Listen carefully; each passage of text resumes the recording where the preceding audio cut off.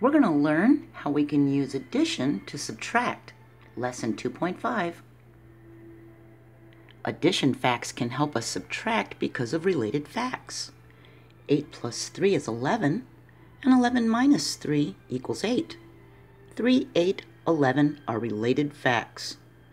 We can make two addition sentences and two subtraction sentences with the related facts 3, 8, and 11.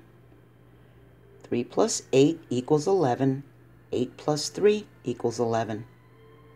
11 minus 8 equals 3. 11 minus 3 equals 8. Two addition and two subtraction sentences. We can find each sum or difference. We can use addition to help us subtract.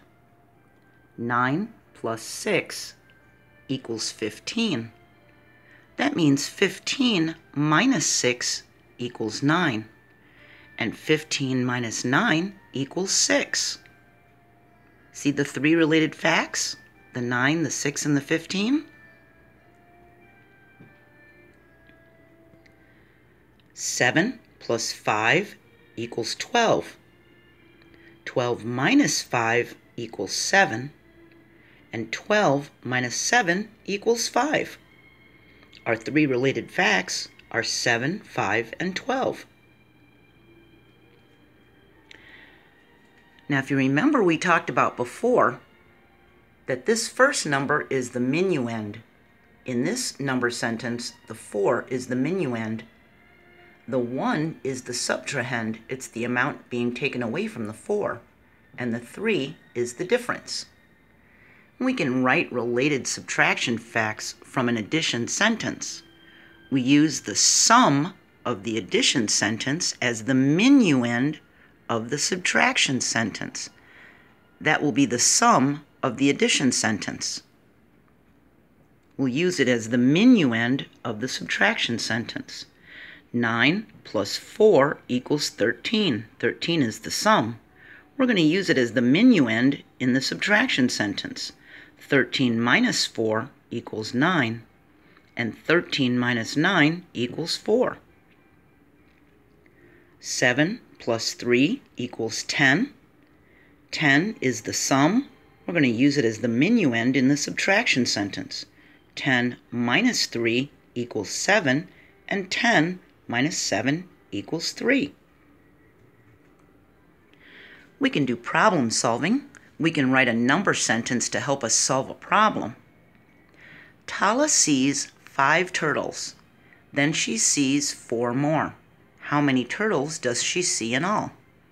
So the first thing we need to do is circle our important information. We know that she sees five turtles. Then she sees four more. How many turtles does she see in all? So our clue words are more and in all. That tells us it's an addition sentence. 5 plus 4. That would be 9 turtles. We make sure we write turtles because we need to label our answers in word problems. Let's try something a little bit harder. Sometimes we'll need to use two number sentences to find an answer. Bob has seven cats. Dave has three fewer cats than Bob. So, how many cats do they have altogether? So, the first thing we need to do is circle our important words and write a number sentence. So, Bob has seven cats, Dave has three fewer. So, because he has three fewer, we know it's going to be a subtraction sentence. But then it says, how many cats do they have altogether? So our clue words are fewer. We're going to need a subtraction sentence. Then, after we do our subtraction sentence, it says altogether, we're going to have to do an addition sentence. We're going to need two number sentences to solve this one. 7 and 3 fewer would be 7 minus 3 equals 4. Bob has 7. There's 3 fewer, so Dave has 4. But how many do they have altogether? Bob has 7, Dave has 4, 7 plus 4 equals 11 altogether. The answer is 11 cats. We make sure we answer what it was asking of us. How many do they have altogether? So do you see how we had to write a subtraction sentence? Then we had to write an addition sentence to solve this problem. You might have been able to do it in your head and write one, but it's actually two sentences a subtraction, then an addition. So that's how we can use addition to subtract. If we know our addition facts, it'll help us to do subtraction because of the related facts. We know that three numbers make related facts and we can make four equations, two addition and two subtraction.